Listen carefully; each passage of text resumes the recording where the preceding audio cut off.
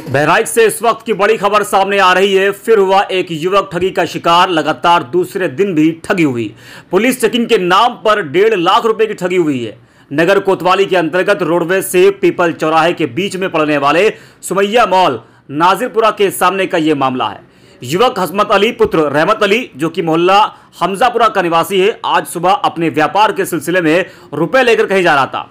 उसको कुछ ठगों ने जो कि सिविल ड्रेस में थे अपने आप को पुलिस बताया और चेकिंग के नाम पर डेढ़ लाख रुपए ठग लिए। युवक ने अपने नजदीकी पुलिस थाने जाकर शिकायत की है। अब देखना यह होगा कि आखिरकार दो दिन में हुई दो वारदातों से पुलिस क्या कुछ कार्रवाई करती है। क्या नाम है आपका और कहाँ के रहने वाले हैं? हसमत अली मंसूरगंज सरगा थाना क्षेत्र। क्या मामला है? मामला ये है कि हम घर से सुबह डेढ़ लाख रुपया लेके चले बैग के अंदर। और हम रिक्शा पकड़ के यहाँ पे समैया माल के पास हमको हमारा रिक्शा रोका गया। हम्म। उन्होंने कहा कि नशा पदार्थ का सामान बिक रहा है इसलिए बैग चेक हो रहा है। हम्म, तो हम हम हमसे बैग लिए बैग चेक किए।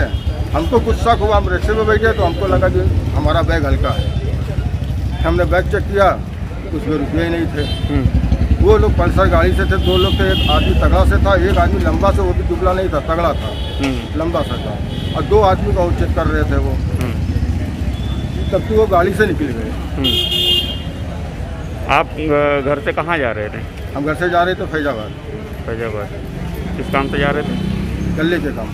अच्छा अपने व्यापार से संबंधित काम से। आपने उन लोगों को कुछ बोलिया पहचाना? बोलिया ये है कि जो वो तगड़े से थे एक लंबा सा था और एक तगड़ा से था मगर बड़ी बिल्डर आदमी था वो। गाड़ी जो वो लिए हुए थे गाड़ी पल्सर किस कलर की थी? काली। ब्लैक कलर की पल्सर हाँ काली। नंबर आपको याद है? नंबर नहीं याद रहा ठीक। उसके बाद आपने पुलिस को सूचना दी? पुलिस सुनना चौकी पे गए घंटाघर चौकी के ऊपर।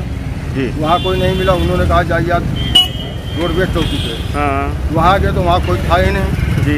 112 नंबर पे डाल किया फ़ोन नहीं उठ रहा था। हम्म, फिर हमको सिटी गढ़वाली भेजा जा रहा था। हम्म, उसके बाद में यहाँ सब आए सब